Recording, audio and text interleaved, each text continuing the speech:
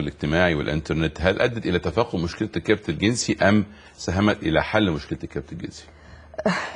ده سؤال سلاح ذو حدين جدا لأن هي هي أداة. يعني سكينة ممكن تقطع بيها طبق سلطة ممكن الواحد يقطع بيها شرايين إيده وممكن ينتحر بيها في قلبه. فهي بالظبط هي كده. يعني هجرته إلى ما هاجر إليه اللي داخل مواقع التواصل علشان يثير نفسه بزيادة ويعيش نفسه في بوتقة إن أنا عندي كبت فمعذور هيزيد الكبت عنده. بالمناسبة لأن هو بيصحي قدامه حاجات جواه حاجات ربما تكون إن هي مثلا الظروف منيماها يعني.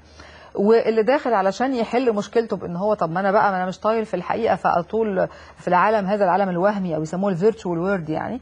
آه يبقى برضه هو بيرقص على السلم هو بي بيوهم نفسه إن هو بيخلص نفسه لكن هو بيمارس عادة سرية وبي وبيشحن نفسه بطاقات كاذبة ولما يجي يتجوز بيلاقي عنده مشاكل. طيب خصوص المراهقين أو الشباب.